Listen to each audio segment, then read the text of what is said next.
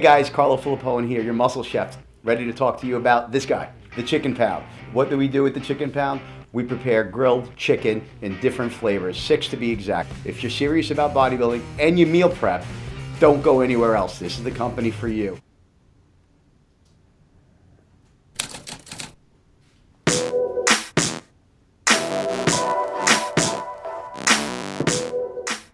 RX Television on RxMuscle.com. This is Ask Dave, better known as hashtag Ask Dave, brought to you by Species Nutrition, Titan Medical, and the Chicken Pound. I'm your host, Sadiq Faruqi. This is your 30 minute question and answer show with Dave Palumbo. All your questions on diet, training, supplementation, IFBB pros competitions, of course, the Olympia.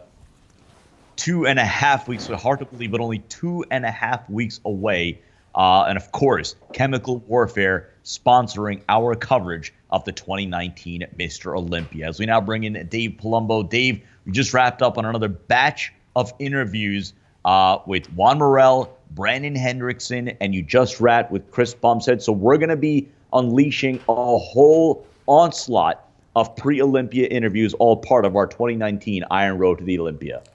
Did you book your flight, Sid? Oh, New York. Yes, I did.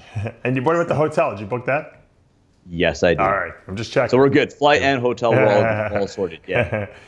um, you know, I, what I try to do when I look, everyone knows, you know, a lot of these competitors, and I've interviewed them before. So when I get these guys on the show, I try to find an angle on each one of them that's something unique. Like with Juan, you know, Juan's known for his eating, you know, his eating prowess. So I wanted to talk about how his eating has evolved over the years because he used to have to eat everything in sight 12 times a day, you know. Now he's, that he's got a little older, his metabolism has slowed down and it's actually worked to his advantage because he can put muscle on and he doesn't have to quite eat as much food, you know, to keep up with, uh, with it. So, you know, every, every competitor, I took a different angle on it. And, and I think there's some funny stuff in there. There's some touching, emotionally touching stuff in there. Um, and that's how I approached it. And I think that the interviews are, are really potent so far. So, I think people are going to like it. Obviously, the Jay Cutler uh, interview has been super popular. Part two, but it will probably be up by the time people watch this.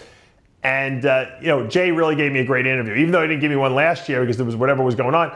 This year, he more than made up for it. I think we had to, we touched on some pretty potent topics. So I'm pretty happy so far with the with the Iron Road to the Olympia.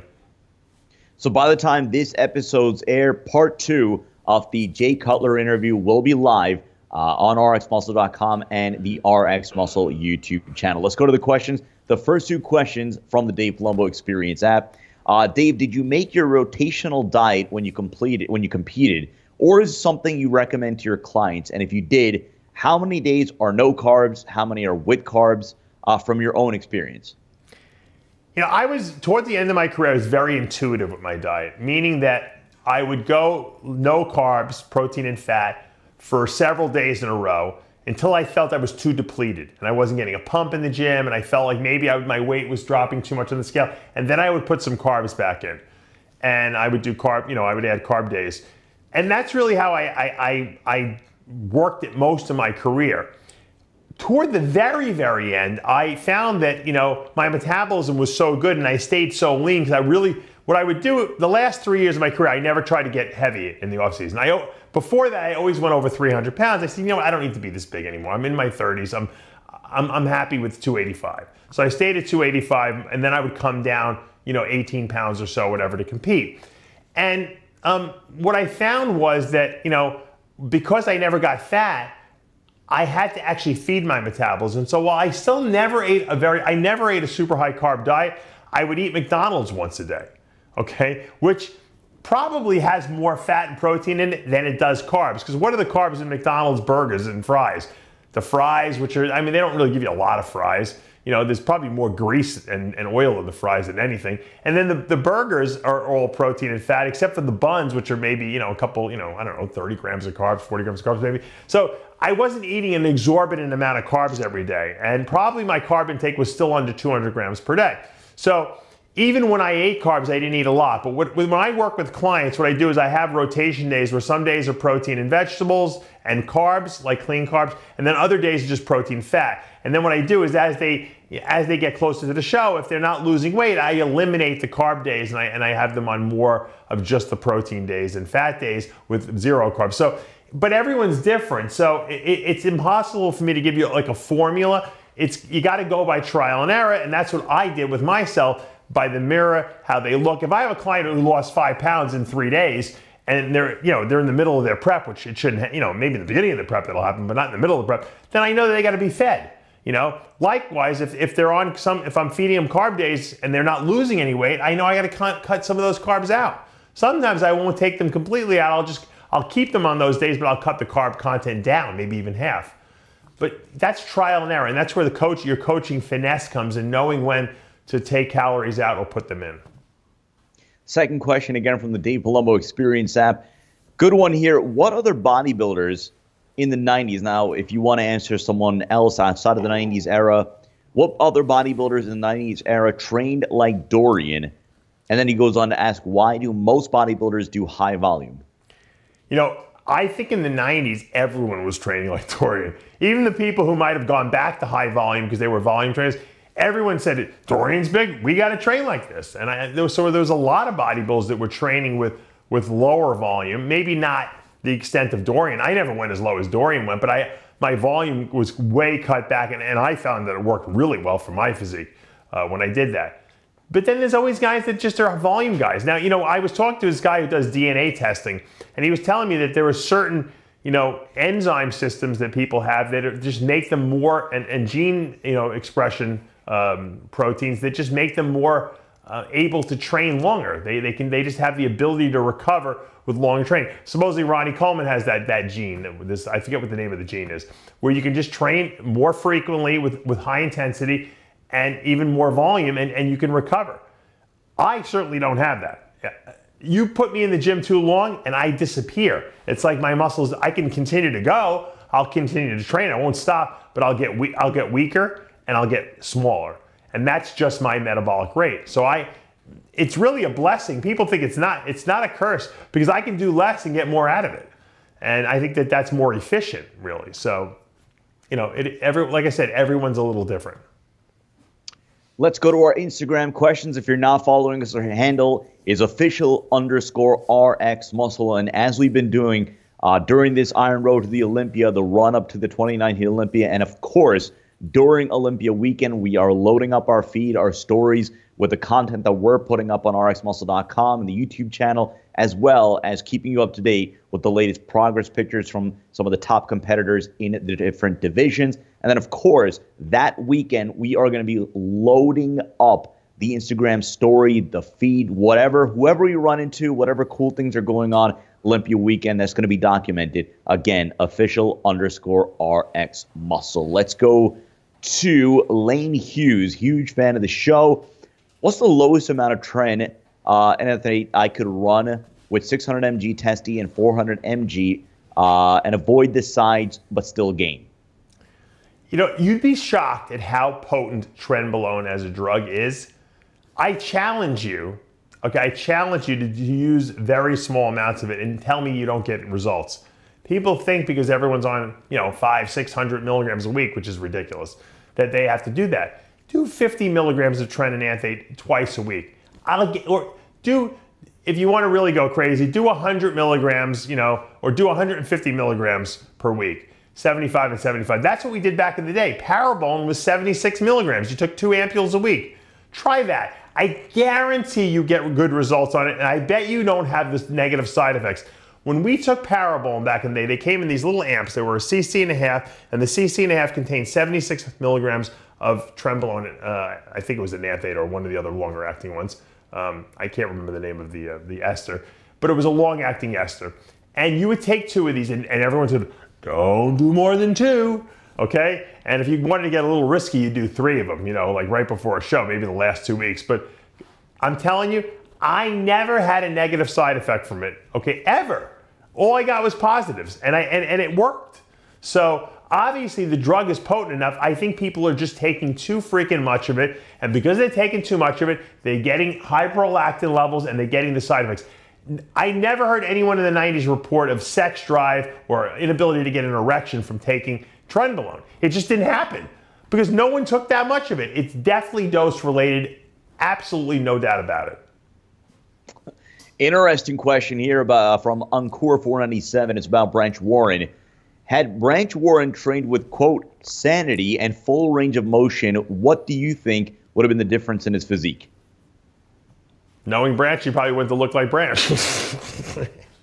I think for his body, it worked. Let me tell you a good story about my good friend Jimmy Pellecchio. Jimmy Pellecchio, when, when I first met him and I saw him in the gym, I thought he was out of his fucking mind. He was, first of all, he was the scary. He, everyone's like, don't talk to him when he's training because he would scream, huh, huh, huh, you know, and he would do these short reps with ridiculous amounts of weight on the bar. He would break bars in the gym. He would bend bars. He would, I mean, he was, he was like, gym owners didn't want him in the gym. And you would think there's no way you can build muscle with what he was doing. All momentum type stuff, but in hit, he figured out a system the way it worked, and it worked for his body. And his body grew, he was enormous, okay? But if the normal person tried to do that, they probably would have killed themselves. But I knew a guy, he was just a regular guy, he used to own a strip club. He used to train with Jimmy every day. Jimmy really got him to spot him. But he, he taught, Jimmy taught him the system. And this guy was doing the same crazy stuff as Jimmy, and he was he was actually responding to it. So um, there is a system behind what Branch Warren does. It's just Branch's system, and if you try to do it and you don't know what you're doing, you'll get very hurt. Um, so that's why Branch grew doing that. Now, if Branch trained conventionally, I don't know. Maybe he would have looked the same. Maybe he wouldn't have. I really don't. Maybe he wouldn't have torn as many muscles. But what Branch did worked for him, and that's why it was you know, the right thing. So you can't say, what if he would have done this or would have done that? Because he didn't. That's not how he trained. We have a ton of questions. See how many we can get through. Caustic Demir, does eating large amounts of protein make you go to the bathroom more? He says specifically to pee. I eat around 300 grams protein per day and drink uh, upwards of three liters of water, and I go to the bathroom every hour or so uh, when I sleep. Uh, goes two times. Yeah, that used to happen to me all the time too. It, it's the high protein. What happens is when you work out, um, especially you know intense training, uh, something called exercise-induced proteinuria occurs. What that means is that um, when your body is, is being pushed, you know, e- exercise-wise in the gym, it allows your kidney tubules to be more permeable to allow amino acids to pass through. So what you'll notice is you're getting your, you'll get protein in your urine. It doesn't mean your kidneys are damaged. It's just it's just your kidneys becoming more permeable and letting the protein out. And when you get protein in your urine, it has a diuresis effect on the body. It actually pulls fluid out of your body. So if you're leaking protein into your urine, you're also leaking urine into your urine, and, and so you're going to pee a lot more frequently. Plus, I noticed, at least when I was competing and when I was training heavy and, and doing, you know, eating a lot of food, at night was when my body detoxified itself. So by the end of the day, I could have been 10 or 12 pounds heavier than I was in the morning overnight I would pee all that out and I would be down 10 or 12 pounds in the morning. So that's a normal cycle, you know, of, of, of, of a bodybuilder, so to speak. When you eat a lot of food and you train heavy, okay, you're gonna detoxify your body. Your body's gonna get rid of, you know, uh, proteins that have been damaged and stuff like that.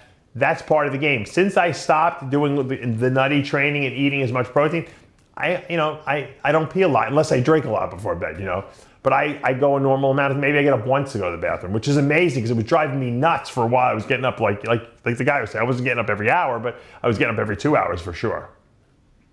So I'm going to follow up that because we're actually getting a lot of eating questions and particularly, I guess, nighttime uh, eating questions. So Gilad Ron, how important is it to eat before bed? I tend to eat the bulk of my meals during the day and eat very light on the last two three hours before bed. It depends what you're trying to accomplish. If, you, if you're on a diet and trying to lose weight, then you really don't want to gorge yourself before bed. But you know, when I was you know trying to gain muscle, I would eat literally. I could eat dinner at like 10 o'clock at night and then go to bed at 11. And before I went to bed, I would drink another shake. Okay, I would have like a 50 grams of whey isolate or something like that, or maybe more. You know, with some carbs or some fat, usually fat and protein. I would drink that before bed, and then I would wake up you know, to pee at two in the morning, and I would have a shake ready, and I would drink that down, like to replace what I just peed out. I don't know, and I would go back to bed.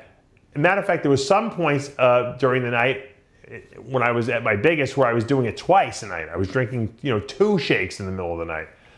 Obviously, when you start doing that, you're gonna start, you're gonna be getting up a lot to pee. But it worked. I grew a lot, so you know, most people don't need that much food. That's the case. But if you happen to have a fast metabolism and you notice that that's the case for you, shakes at night really do help. Really good one here from Tavaleri 3D. I'm sure you've gotten this question from a lot of your clients. If a client gets last place in a show but look their absolute best, what would be the next step? Do the same type of prep, just add more solid in the off season? Feel like sometimes I guess they may just not have gotten the right judging in place. Uh, what do you do if one of your clients looks their absolute best, but you know, what are the next steps after a disappointing finish? Well, you know, how you place necessarily doesn't really always reflect how you looked. Because if you were like overweight or you, you know, you really looked terrible and then you really dieted your ass off and you got yourself in shape, you show up, you're in the best shape of your life, everyone's complimenting you, but the class is just really difficult and you happen to finish last, you know, maybe six out of six guys, but everyone ahead of you was really good, then I pat the guy in the back. I said, Congratulations, man, you did great. All right, now we go back to the drawing board and we work on what we got to work on, which is usually means you probably don't have enough size or something like that. Because if your conditioning was good, you looked your best, you had good tan, good presentation, you got to put more muscle on. That's what bodybuilding is. It's a journey. I've helped people who look terrible not because of me. Maybe they came to me, you know, four weeks out, and, and or the, whatever the case may be, they weren't following the diet. Uh, we try to play last minute catch up, and they've looked terrible. And you know what? They've actually won their class because there was only four guys in the class, and, and the other three were not conditioned either. This guy had good shape. He won by default, and he probably shouldn't have won. So I, I, I, yell at those people. I'm like, you know, don't don't think you got you did good here. You got lucky you know, of course he's still gloating because, you know, in his mind he's rationalizing, I did look good, you know, but that just goes to show you some people have really good genetic potential. They can win something despite the fact that they're not at their best. Hopefully they use that as a motivation to get themselves to their best so they can beat the best guys in the world. So if you don't have a if, if you have a client who's who you did their the work for them, they put that you know the, they followed what you said and put the work in, and they got themselves in the best shape of their life you congratulate the heck out of them. Let's go to Ancient Mason 84. How would you go about cutting water with only diuretic foods? So I guess the best foods to cut water. I, you know, I don't believe in the whole diuretic, you know, food thing and eating asparagus. And look, if you got to lose water, okay, you can do it two, one of two ways. You could either stop drinking, okay, whether it be 24 hours before, 18 hours before, and let your body just naturally dehydrate, or you can take a diuretic, you know, to help facilitate that. The prescription diuretics are stronger, okay? The herbal ones are a little weaker. They all work. If you combine that with restricted drinking, guess what? You're going to dry out. That's just the way it is. You know, everyone requires different things. If you're on anabolic steroids and some GH, you're probably going to be benefit from using a prescription diuretic. It's a little faster, it's more predictable. Um, if, if you're not, if you're a natural competitor, then you can go out and buy some Uva Ursi and use 800 milligrams, you know, with every meal the day before your show, and you're going to look great too. It, it, it's the same effect. Let's go to Reds 55 Radke. I think he has a couple of questions. The first one about CBD. Will CBD make you pop a drug test at work that tests for marijuana? If yes, is there a specific strain or variety of CBD that is safe to take so you don't get dinged? Most CBD should be certified, you know, uh, free of THC. So if you fail a drug test, I would be very angry at the company making your CBD. The CBD should be THC, which is the drug that's in marijuana free, even though it does contain hemp. Okay, that's not what it's illegal. It's the THC in the marijuana that's illegal. So you should be fine. Let's go to Rodman Richard. What's the longest cardio duration you've ever prescribed for a client during contest prep? I've had people do four hours a day for, the, for a couple days because they were so far behind. That, you know, we were just, they were like, I'll do anything. Um, true story, when I was uh, dating Colette Nelson, she was so far behind, I told her to do four hours of cardio, and she actually walked to the gym, which was like eight miles or something like that. And then and she was it was like blisteringly hot out and i think someone she had to get like a like a ride on the way home because it was like she almost passed out so if you're doing that much cardio you know three hours or above you, you got to do it in a controlled air conditioned or heated environment. So if anything, you know, if you, if you feel lightheaded, you're going to pass out, at least you're right near, you know, other people so you can be helped. Uh, it's not something I recommend you do, and it's not something you would do routinely unless you really fell behind or you were, you know, starting your prep very late. Let's go to Rob Rich 55. Dave, I often see the Titan Medical commercial before Ask Dave I was looking around some of their products. I saw one, Nectar of Gods. Uh, can you tell me a little, a little bit more about it? You know, they have a, a, lot of great vitamin, injectable vitamin formulas at, at Titan. And I, and I, and I, you know, everyone knows I really like their products a lot. I like the fact that they're all made in American pharmacies. They're compounded. They're sent right to your house with a prescription. I don't have to worry. I use their injectable glutathione every single day. Every day I take 200 milligrams of it. And I feel great on it. You know, I feel good. I don't get sick really. Um, aside from this nasty cough, this I have an annoying cough that's driving me crazy. It's probably driving everyone here at work crazy too. But um, buy it, but I'm not. I don't feel sick, so it's a great formula. They have this nectar of the gods, which is very similar. It's glutathione with N-acetylcysteine, which is another antioxidant that's actually a precursor to glutathione. It contains glutamine and proline and injectable L-carnitine. It's all. It's like a cocktail in one. Um, I'm going to start using that because I'm going to see if I, I, notice any difference with the addition of some of these other ingredients, believe it or not. Um, they've been, I think they have a, deal going on right now on the Nectar of the Gods. So if you actually contact TitanMedicalCenter.com, whether it be through email or you call them up, mention Dave Palumbo, mention RX Muscle for a discount because they will give you a discount. And I'm telling you, these are they're great to try. And it's not something you have to take all the time. You could take it for a month here, take off two months, do another month. It's good for detoxification. It's good for just feeling good, you know, healthy liver, healthy, you know, cell function. Let's go to Shadwater Fit. If you had someone running two to four IU's growth hormone during contest prep, do you normally have them run it all the way to the contest day or pull out at some point before? Uh, I know some people get concerned about uh, water retention. Yeah, I haven't seen too many people that have water retention issues. Now, what I noticed when I was competing and I was on GH is my, my midsection would get sometimes distended a little bit. So what I would do is I would stop the growth hormone two weeks out. But then two days before the competition, I would put it back in.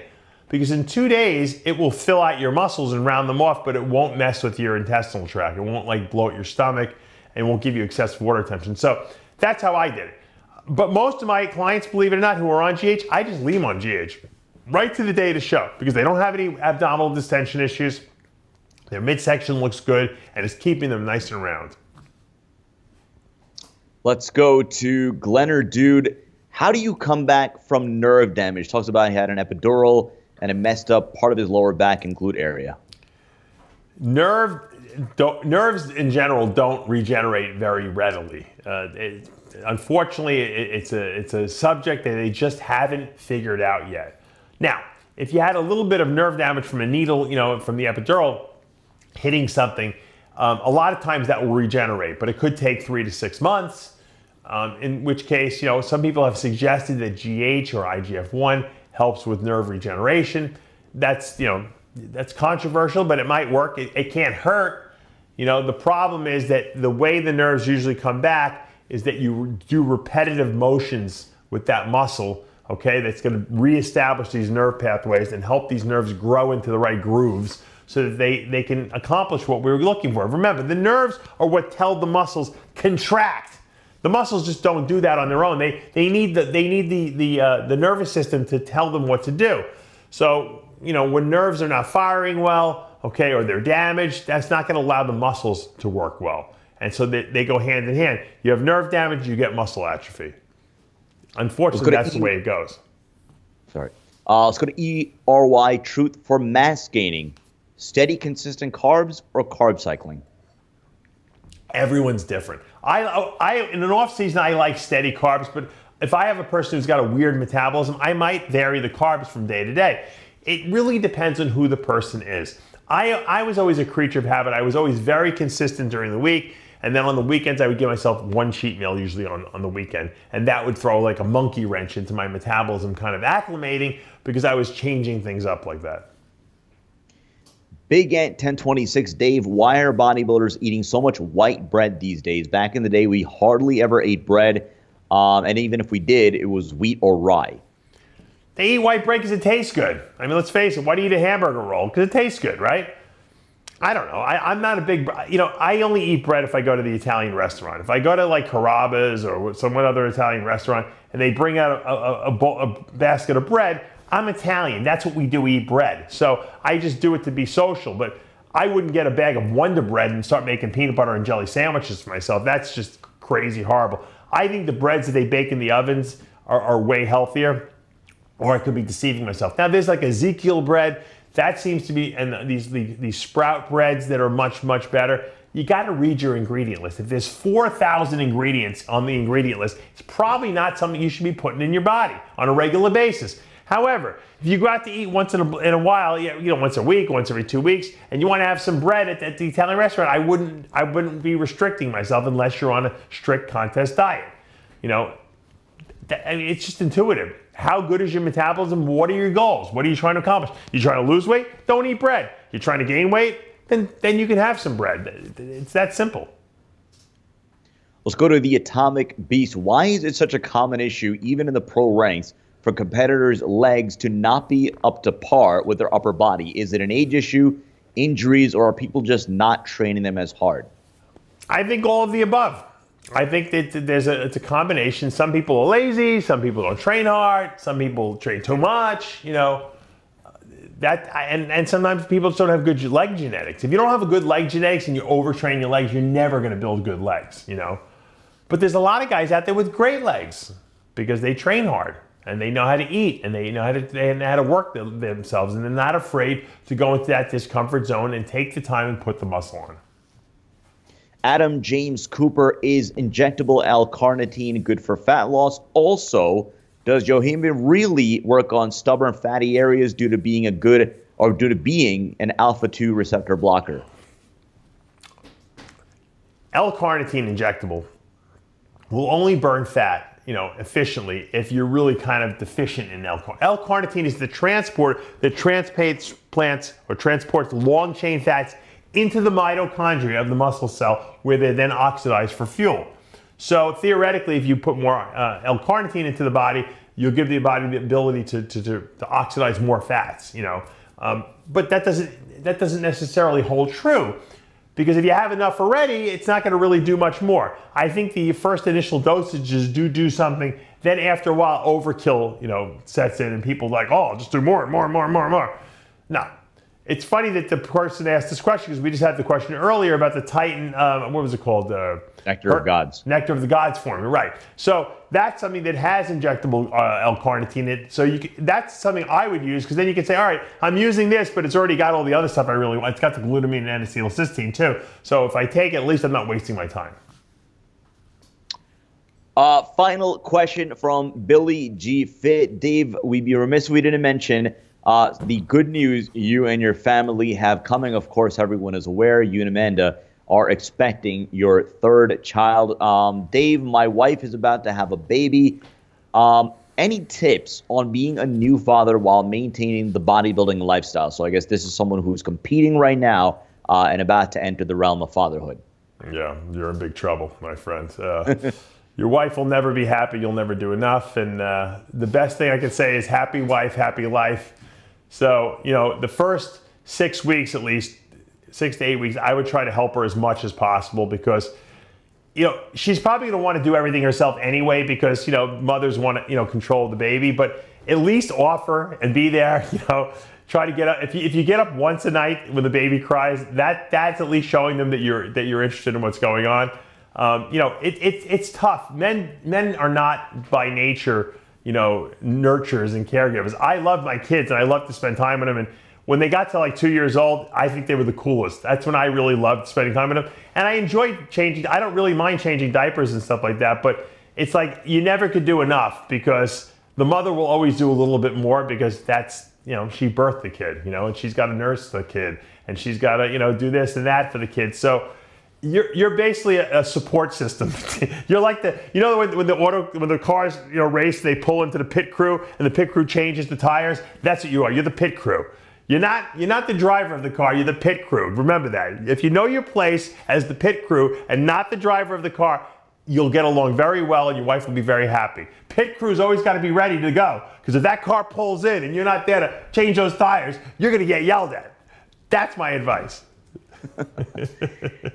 and on that note, that's going to do for this episode of Ask Dave again, brought to you by Species Nutrition, Titan Medical Center, and the Chicken Pound. Click below for the Jay Cutler Part 2 interview. Jay Cutler talks about this upcoming 2019 Olympia business and everything else going on in Jay Cutler's busy yet very, very interesting life. For Dave Palumbo and Tyler Shore, I'm Sadiq Faruqi. We'll see you next time.